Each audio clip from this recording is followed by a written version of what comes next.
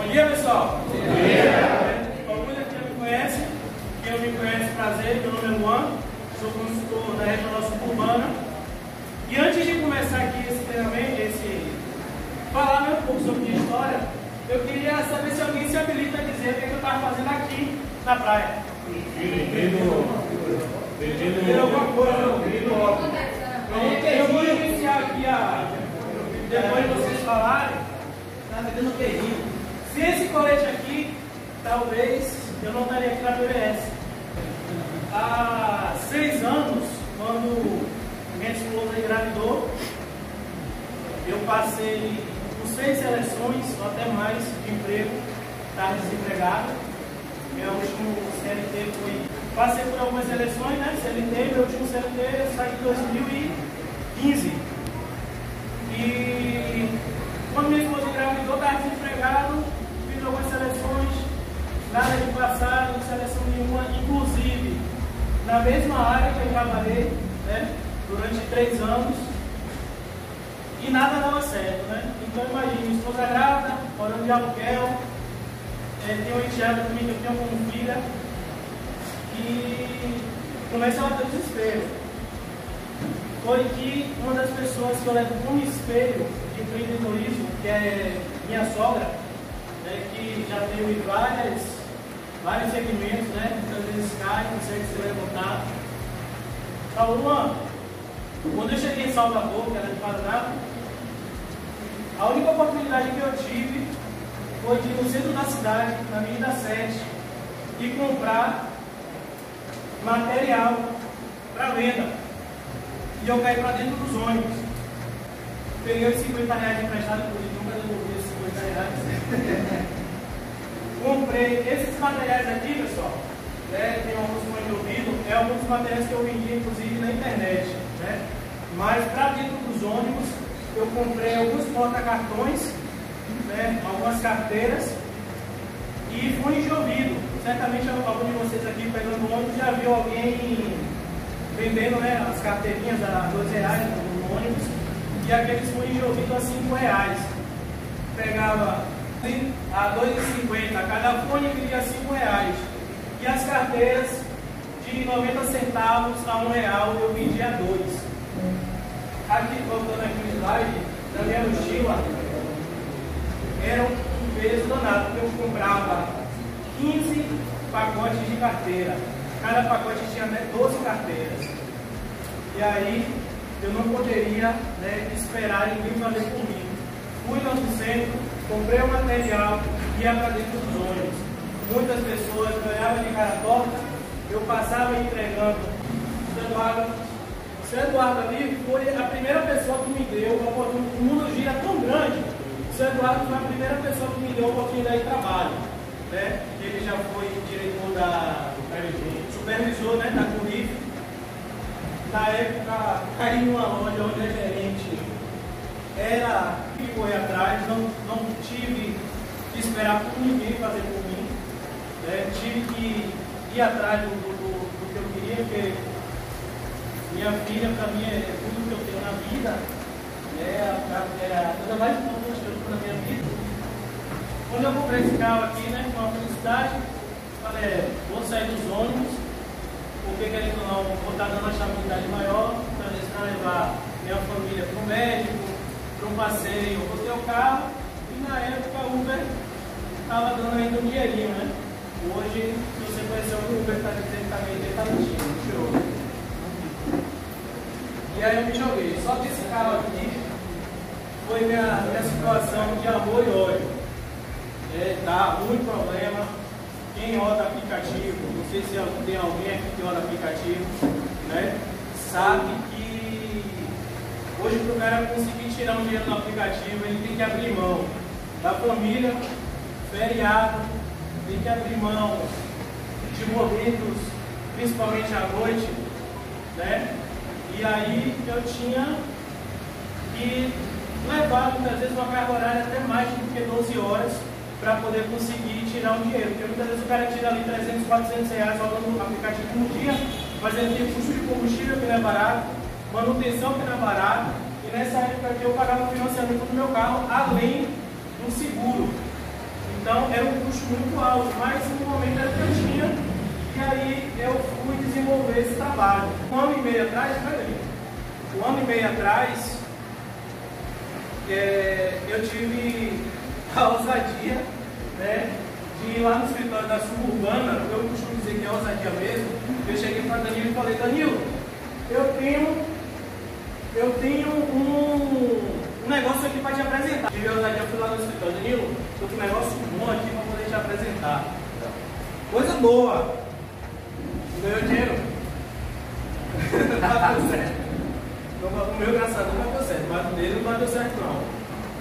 Aí ele falou, é mesmo, aí você falou, pô, é um aplicativo, é, já, já trabalhei nos homens, ele é mesmo, então, então eu vou te apresentar um negócio bom aqui. Quando ele me apresentou a PBS, onde me falou que eu poderia ganhar 200 reais por contrato, no mínimo, né?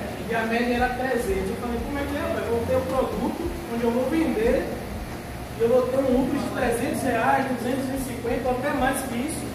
Eu vou tirar um real do meu bolso. Ele falou, é, eu falei, tá bom. No primeiro dia, quando eu saí de lá, já saí já com a mente já me já. Falei, pô, tem que começar a desenvolver isso. Vamos ver como é cheguei para de casa para esposa. Pô, tô com um negócio bom aqui para poder desenvolver. Ela lá vem você de novo.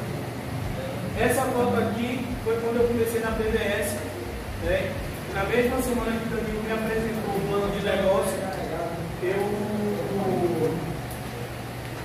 Minha primeira atitude foi pegar os encartes digitais. Eu falei, vou trabalhar isso no WhatsApp.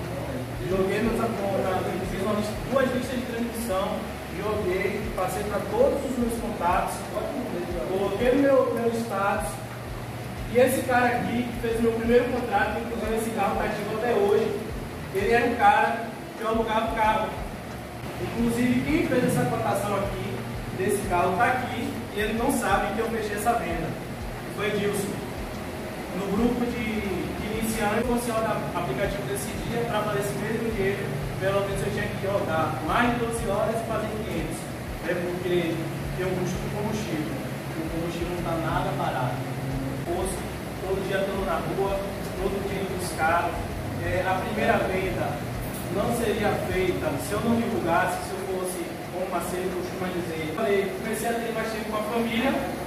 Esse ano, no Dia das Mães, eu pude proporcionar a minha avó, a minha mãe, minha sogra e minha esposa com almoço no Dia das Mães. Comecei a mais, ter mais tempo com a família, né? mas aqui eu comecei a ter tempo mais com a minha família, minha esposa, minhas duas filhas, né? E quando eu iniciei na PBS, né? Eu botei uma meta. Essa meta era de menos um contrato na semana, porque ia me render pelo menos mil reais, né? Financeiro. Só que essa meta de um contrato por semana, ela não acabou sendo somente para poder ter uma mais. Né? Não, não se tornou somente uma mais. Eu conheci a PBS, né? logo em seguida pintou a oportunidade de compra do meu apartamento e as metas que eu coloquei na PBS, que seriam a mais, seriam para a compra do meu apartamento. E em novembro, dia 30 de novembro de 2021, eu mandei essa mensagem para Danilo. Né? E finalmente eu tinha assinado com a, o banco. Eu tinha feito um contrato com a construtora, estava efetuando o pagamento e no dia 30 de novembro, todas as adesões que eu peguei com a PBS e esse retorno financeiro que me deu, eu fui pagando né, a, as parcelas da entrada com a construtora. E no dia 30 de novembro, né, eu assinei com, com a financeira que Deus me deu. Minha esposa com a mão calejada com queima. Não sei se alguém aqui já fez um contrato de, de compra de imóvel. Aqui foi mais de 100 papéis que ela assinou nesse dia? Aqui essa foto foi a foto que eu montei, eu montei inclusive depois para Danilo. Aqui a emoção estava fora da caixa do peito, estava chorando. E graças a Deus, a quando próximo mês acharam no meu apartamento pregando todas as adesões que foi feita né, dos, a partir do segundo mês na BBS até o dia que a gente fez a assinatura. Inclusive, né, até hoje, mas quando bate na, na conta, até já transfere para a construtora, e até transfere, morando de aluguel e pagando isso aqui, irmão, não é nada fácil. Hoje na BBS eu posso dizer que é 90% da minha renda. Né? Durante o dia eu estou na rua prospectando, estou correndo atrás. Né? No dia 18 de janeiro de 2021, sem instrução nenhuma, até Danilo tinha feito a PM e tal. Peguei e falei, Danilo, me dá uns panfletozinhos aí. E aí eu vou estar desenvolvendo, vou estar entregando algumas pessoas. E peguei os panfletos que eu tinha pego na mão de Danilo, fui sozinho para o posto Shell que tem ali na Brasil Gás. Ali se forma uma fila de pessoas querendo abastecer o gás e comecei a completar, sem instrução nenhuma, não pegava nem o contato direito, nem com um papelzinho né, para poder estar fazendo a, a capturação do lead. E esse rapaz aqui, eu peguei o contato dele no dia 18 de janeiro. Quando foi no dia, no mesmo dia, passei, fui para casa, passei a cotação, e no dia 19, no dia seguinte, eu fui na casa dele e fechei o contrato. Já trocou de carro, está tirando na base até hoje, um carro. E, e os resultados começaram a aparecer, né? A frequência né, de Verônica, ela estava porque tanta já que essa mulher me passa. A adimplência que não basta você vender, tem que ter pelo menos a, o pagamento do primeiro boleto, né, o associado, você tem que dar o suporte ao seu associado. É, e mesmo que o cara não compre com você naquele momento, faça a proteção, o lema é ou fecha comigo ou me bloqueia no WhatsApp. Porque das 70 ações que a gente fez e as que eu fiz por fora, até hoje eu tenho todos os vídeos salvos no meu celular. Se no dia estiver chovendo, não tiver como ir para a rua, o trabalho é feito dentro de casa. Porque aquele contato ali, eu vou bater e me fechar, não sei que ele tem que ser no WhatsApp. Né? Então, com o tempo, foi fazer as ações, foram 70 ações né, de rua, tem foto para caramba. Danilo, Evandro, Brandão Cimento, esse que está sentado ali agora, é um cara que está na rua todos os dias também. Primeiro palco é onde? Primeiro palco é 5 da manhã na sinaleira. Tem pessoas que têm vergonha né, de, de fazer a prospecção você toma uma janela na cara, a janela fecha, acha que aquilo ali um dia vai acabar. Pelo contrário, para mim motiva mais. Se a pessoa fechar a janela, o problema, passo para o próximo e vida que segue. Porque se